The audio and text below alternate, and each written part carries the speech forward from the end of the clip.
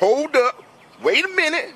Something ain't right. Really is quite the evolution in a fairly short period of time, according to the New York Times. I know you've noted on multiple occasions just how long this investigation had dragged on. Have you ever seen a federal case play out like this before? No, Erica, it's really inexplicable to me. Hold up. I mean, first we had basically five years of behind the scenes investigation with no transparency, no action, and some questions being asked. What's taken so long? But in the last couple months, we've seen a pattern here, and Marshall just laid it out. We've now seen it play out two or three separate times. DOJ moves towards a very lenient disposition. They're just about to lock in that lenient disposition. And then there arises pressure, either through whistleblower testimony or through public scrutiny. And then DOJ backs off and says, actually, we're not going to do that now that it's been called out. We're going to try to up it a little bit.